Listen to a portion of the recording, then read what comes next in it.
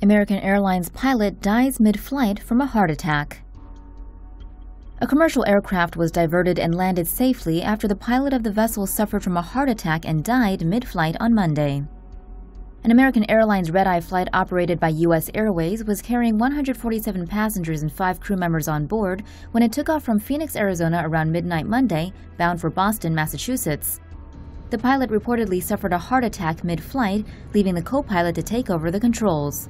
Passengers on the flight experienced a quick descent and some turbulence before the crew announced the pilot was ill.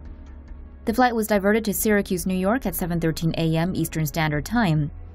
Firefighters there responded to the pilot. However, American Airlines reported that he died on the plane. Airline pilots must pass physical exams every year, while pilots who are 40 years old or older must pass them every six months.